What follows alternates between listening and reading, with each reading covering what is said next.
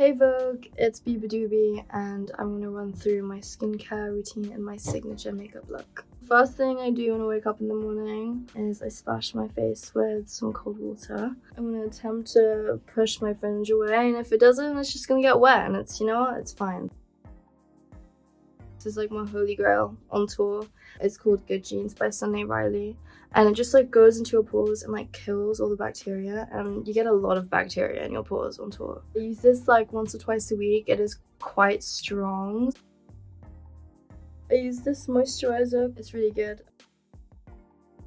When I wake up, my skin is usually very puffy, so I use these ice rollers. Now that you've got the moisturizer on your face, it just like makes it easier to like move around. And it's good to keep them in the freezer. The funnest way to do it is to do it in the shape of a heart.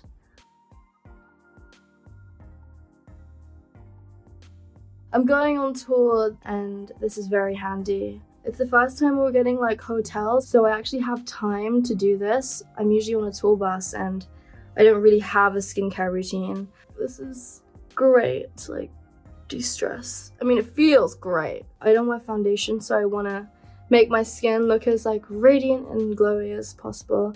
So this oil called Emma Hardie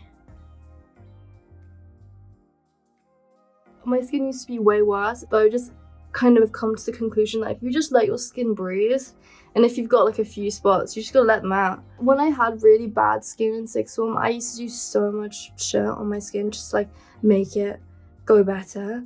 But weirdly enough, it just like made it worse. And I think I have this habit of just like touching my face a lot when my hands are dirty, and it's just, I think that makes such a big difference. When I'm on tour and when I'm traveling, my skin does get really sensitive, but what really acts up are my lips. My lips are just like so sensitive and the air conditioning um, on the tour bus just like fucks them up like so bad. I got recommended this lip balm. I hate when it looks like shiny and glossy. This is matte and it's great. When I put the lip balm on, it almost acts like a lubricant to scrub my lips then I put this on again after, just so I can be like extra extra moisturized. Now I'm gonna move on to my makeup. I don't do anything to my eyebrows, so having a fringe is a lifesaver. On the days I do need concealer, I use MAC Face and Body. It's not heavy at all, and I just like put it on the areas I need. When I was in high school, I was in a very white, predominant school, and for some reason, I just wanted to look whiter. And also, Asian beauty standards just this weird thing where they just want everyone to look paler. And that made my skin go really bad. And then I just stopped wearing it completely, and it's just like so much easier, and I'm so much more comfortable as myself. I am full Filipino and in the Philippines they have these like whitening products and back then it was just so ingrained in like our mentality. Every time we to go to the Philippines, they'd be like, don't tan, don't tan. And I was like, but I want to get tanned. It was really confusing. But I guess through time and like meeting my friends and growing up and maturing and finding hobbies that made me like confident, um, I've just grown more comfortable with my skin and how I look. And obviously, like, I'm still on the road to just really loving myself wholeheartedly. But I feel like I'm getting there. I feel like slowly and surely. Music is definitely helping.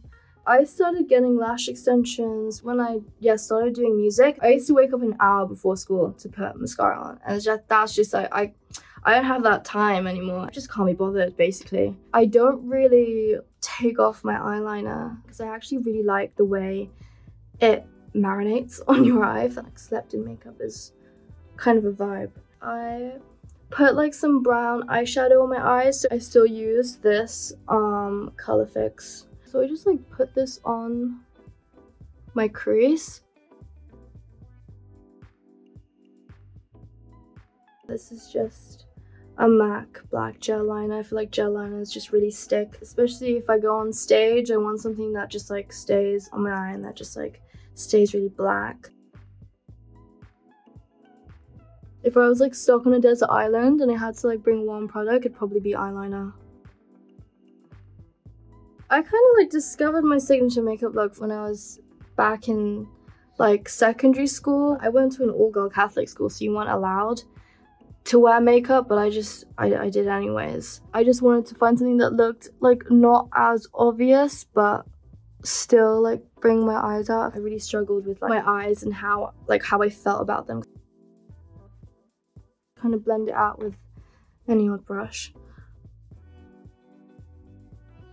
My parents are very traditional, but my mom, she has this crazy, crazy makeup collection. She loves when I wear makeup. My dad, not so much. I feel like dads do not understand the concept of makeup. They're just like, oh, you're not wearing any makeup at all. And I'm like, I am wearing a lot of makeup, dad. It is thing with my boyfriend. I'm just like, do you notice anything different? Like after I get my eyelashes done, he's like, um, you got your eyebrows done? I'm like, no, no, dude. Put it in the, just under my waterline so it looks a bit smudgy and slept in. I have this hack that my makeup artist taught me. It's to curl like the ends of your eyelash extensions so they like curl up and they look crazy. But you just have to make sure you're not doing it from the actual root because that will literally fuck up your eyelash extensions. Mascara. I'm gonna move on to my lips. So this is Byredo. It's like my favorite thing right now. And I use it like everywhere. I use it on my cheeks, I use it on my lips, I use it on my nose. I always stick to red lipstick, especially when I'm performing. I feel like it makes them pop. And then because I have like a lot of red on my finger,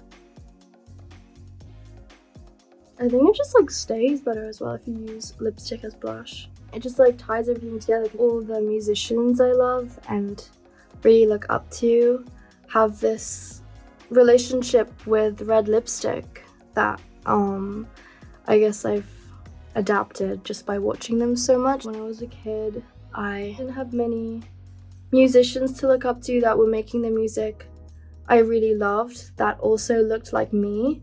And then I saw Karen O and I was like, oh my god, whoa, she's Asian and she makes rock music. That's so badass. And I'm gonna move on to freckles. There's always this weird stigma behind freckles where it's like, why are people drawing on their freckles now? Like I used to get bullied for my freckles. Let's just let everyone live and draw the freckles on. So this is just a normal eyebrow pencil. I think this is like the easiest, most simplest way to put some freckles on. I feel like this kind of like lifts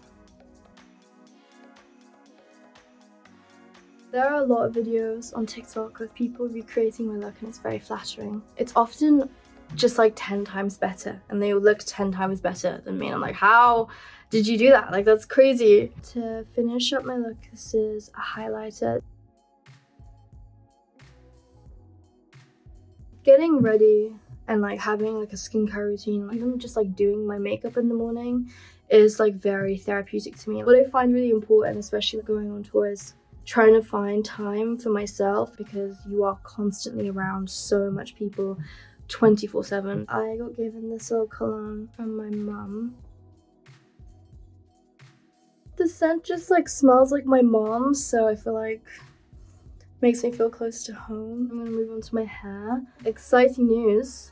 I'm actually brushing my hair for once. I used to get so many DMs being like, God, B, just brush your fucking hair for once. But now I've actually genuinely listened, now I'm brushing my hair. I've been through so many hair colours and my hair is so damaged that it just needs to be brushed. I think the colouring my hair has come to an end unfortunately. I'm on this wave where I just want really long black hair and just really healthy silky hair. My last step to get rid of the frizz and all the little flyaways is bedhead after party. You like put it in the ends of your hair this is my finished look. Thank you so much for watching. Now I'm ready to start my day.